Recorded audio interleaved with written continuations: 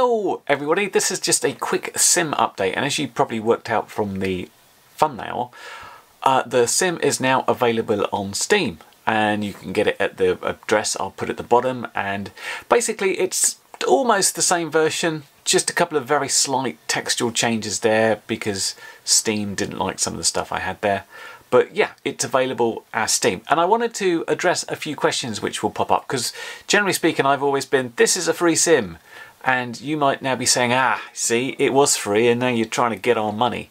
It's true that the sim version is chargeable and there's a reason for this uh, and it's mostly because Steam charges $100 for you to put something on Steam so I thought by charging a sort of nominal amount of $1.99 I'd be able to at least get some of that money back. That said, you, I'm not expecting anybody to rush out and get it from Steam. If you're comfortable downloading from the GitHub site unzipping it and running it, brilliant. The reason the Steam version exists in the first place is, is for a couple of reasons. First of which is I kept getting questions and comments from people that just found the idea of going to a website, downloading a file, unzipping it, putting it somewhere and running it, and then having to do the same thing every time there was a new version. They just found it overwhelming. And, I, you know, I'm 35 years plus as a, a programmer, so it, it it was a bit weird to me, but yeah, not, not everybody is at the same level of using a computer and they are much more comfortable where they can click on an application and it just does all its own stuff. So at least by doing Steam, if they've managed to get Steam installed, because Steam has a quite a nice friendly installer, they can just go to the Steam store and they can click on it and it will download and it will automatically update and stuff. So there, there are a few people that will want this. It's obviously the people that are not computer savvy but they want to try and play it. And I didn't want to have a barrier of entry and the fact that you know a technical limitation would stop people doing it. So it's it's for them guys. It's also uh, for people that find the updating thing a pain and they have to like know when something's updated because right now you're probably having to watch a video like this or keep an eye on the github page. So for people that want the convenience of knowing it's just automatically going to update that's for you as well. And if people want to give what I would call a passive donation, I like you like this, you may want to kick in a, a, buck to the project or something, but you didn't want to do the Patreon, you didn't want to do PayPal.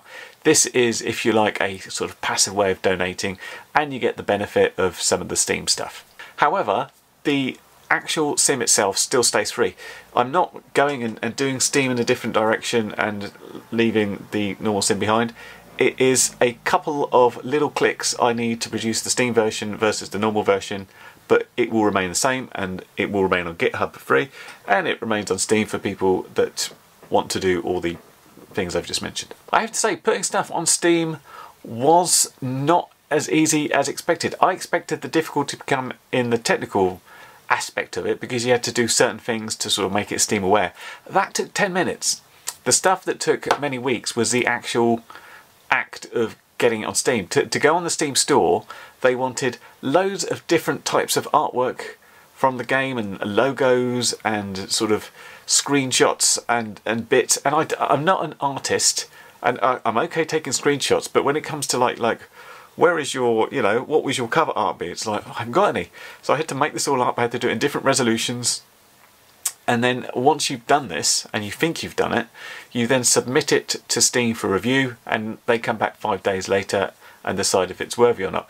And in the case of this it got rejected once because they decided that the, it's actually called the hero artwork was was not acceptable because I, I'd used the sort of picture of me smashing through the brickwork in a quad but they said that contains a logo and your logo is supposed to float over the top if you've ever scrolled through the Steam, you'll notice um, there's a slight movement of the, the logo over, over the artwork. That's that bit. So I had to redo that and then I had to wait another sort of five days in the queue. And then when it came to submit the code, somebody from Steam had to actually start it and play it. And that got rejected twice. Both times, I wish they told me in just one note, it was references to uh, PayPal and uh, there was a link to a Bandcamp site for the, the guy that did the music. And they're like, you can't do that because you're taking money away from Steam. This isn't Steam Wallet stuff, this is external stuff. So those had to come out for the Steam version, and uh, that's like another 10 days. And even then, when it was accepted, it's like, okay, well, you have to have it on the, the store for like 14 or 10 days or something. So I had to sort of sit there twiddling my thumbs until yesterday when it finally got released and is available for you. So now you can download it on Steam, you can start it from Steam, um, albeit it has exactly the same functionality except you can use the Steam overlay if you really want to. So there is that. Go forth and download on Steam if you want to, or carry on downloading from GitHub if you want to. All is good with me. So I thought I'd just mention what's coming next, and if you ever want to know, if you check on the issues page, uh, there's always a link to the bottom, um, you can see what I'm doing. I've created this tag called working on right now, and it says what I'm doing right now, and I, I I've got a list of sort of my, my things that I want to do, and if you ever think, hey, what about this? Why not do that? Or if you've got a bug, just add it there. You don't have to be it doesn't mean you're part of the project, it doesn't mean you have to program it, it just means you can report a bug there or you can ask for something there. It's all good. And I do listen to people. One thing I really didn't like about OSDs was that central crosshair that right in the middle. I'm like, I know where the middle is, but enough people asked if they could have it because they fly with it. It's like, okay, I'll put it in there.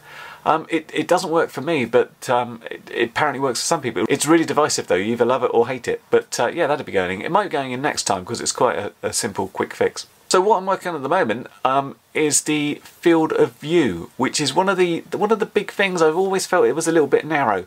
And as I've worked on this, I've worked out that the default view we've got at the moment is about a 2.8mm lens, which is what we used to do in FPV, but now feels a little bit narrow.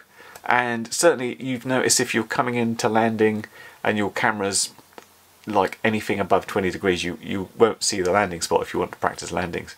And I felt this is more difficult when going through the building and stuff like that. So I've always talked about having a shader to do this, but um, this sort of shader would be basically a full screen processing effect, and that would be a case of rendering the image, taking the image, uh, doing a post-processing effect on the full image and then rendering it again, which is like, that's double the uh, uh, amount of CPU power. So I'm slightly worried because I've always tried to make this accessible to low-end computers that this might be too much.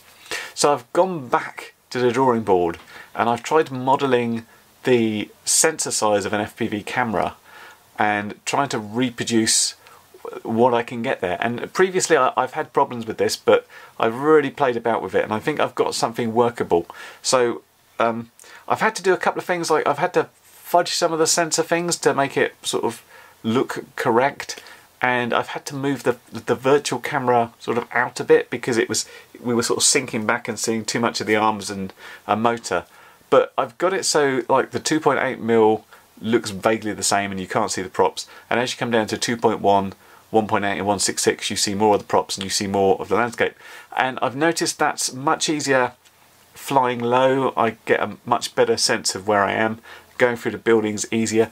Although I think there's still a little bit more to do with the, like the fine tuning of the throttle there because I noticed it's a little bit jumpy so I might look at that. But anyway that's hopefully coming up soon uh, and with with all these things it's like I think this is good but I'll put it out to you guys and, and you guys can tell me. So that'll be coming up soon.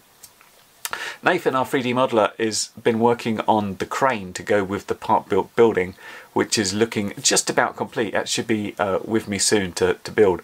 The crane's going to be slightly different than it is in other sims. I think cranes look cool and you can dive down them, but I've always been a little bit confused that they never move because cranes, of course, have movement and their little thingy goes along their, you know, the thing with the hook. Uh, so I, I thought we'd at least have the option to have it moving and then it's it's more fun to fly around if it's got the possibility of hitting you when you're not doing anything. So as I said, that should be coming up soon. After that, I really want to get on with the idea of quad ball. Essentially, uh, think Rocket League, but with quads. We've, we've got the multiplayer stuff in there. We're going to have the field of view stuff.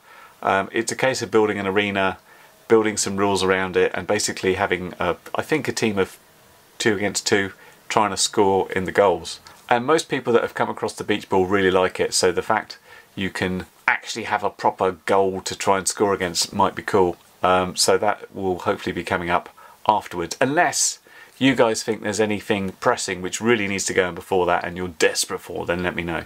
Other than that, that's it. Uh, Steam's available. You'll find a link down there, as is GitHub. You'll find a link down there as well. Uh, hope that's helpful, and I will catch you in the next video and update and stuff like that. Bye for now. Well, you've made it to the end of the video, so thanks once again for watching.